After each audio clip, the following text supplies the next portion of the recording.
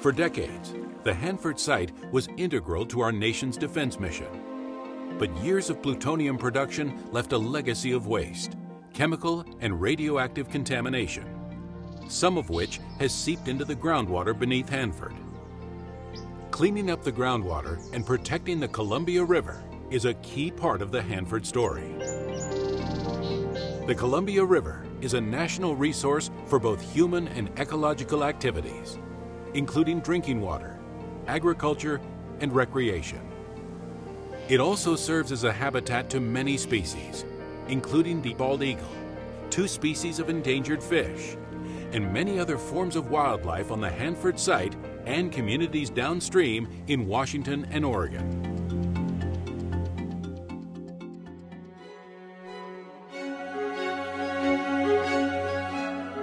During more than 30 years of operations at Hanford, approximately 450 billion gallons of contaminated liquids were discharged directly into the soil through evaporation ponds and infiltration structures. That's enough liquid to supply the entire United States of America for a day. Liquids also inadvertently leaked out of some of Hanford's underground waste storage tanks. Some of the contaminated liquids seeped hundreds of feet beneath the surface, where they eventually reached the groundwater.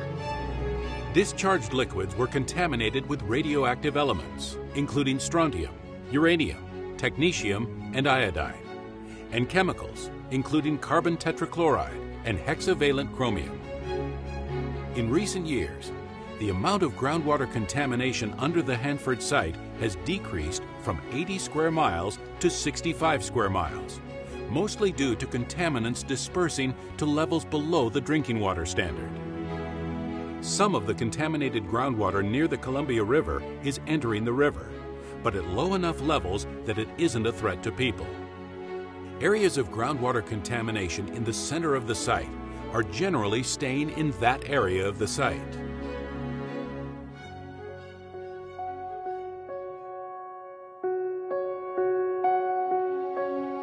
For years, the Department of Energy has been working to clean up the Hanford site and reduce its footprint from 586 square miles to just 75 square miles by 2015.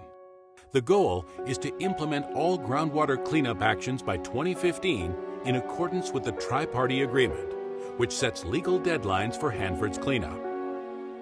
Working for the Department of Energy, contractor CH2M Hill Plateau Remediation Company is operating several treatment systems and building new treatment facilities. The goal? To contain groundwater contamination so that it no longer enters the river, and to keep groundwater contamination in the center of the site from getting to the Columbia River. To accomplish the groundwater cleanup goals, every opportunity to increase the effectiveness and speed of groundwater remediation is being considered pump and treat systems are the current prevailing method for groundwater cleanup. Miles of pipe connected to strategically placed wells extract contaminated water from the ground. The water is pumped to a treatment facility where the contaminants are removed. Then the treated water is placed back into the ground. The groundwater is carefully monitored and wells are moved as necessary to increase the effectiveness of the treatment systems. To date, more than 5 billion gallons of groundwater have been pumped out of the ground and treated to either the drinking water standard or the stricter standard for aquatic life. CH2M Hill has built and continues to build facilities along the river and in the center of the site. This work will increase treatment capacity from 30 million gallons per month in 2009 to more than 150 million gallons per month in 2012. Through 2010, efforts to remediate the groundwater have resulted in the removal of nearly 31,000 pounds of contaminants from the 5 billion gallons of treated water. The Department of Energy and CH2M Hill are exploring new technologies to remove contamination, including chemical and natural barriers to hold contaminants in place while they decay naturally. Through these efforts and dedication to protecting the Columbia River, the Department of Energy is set to meet its goal of putting final groundwater treatment systems in place by 2015.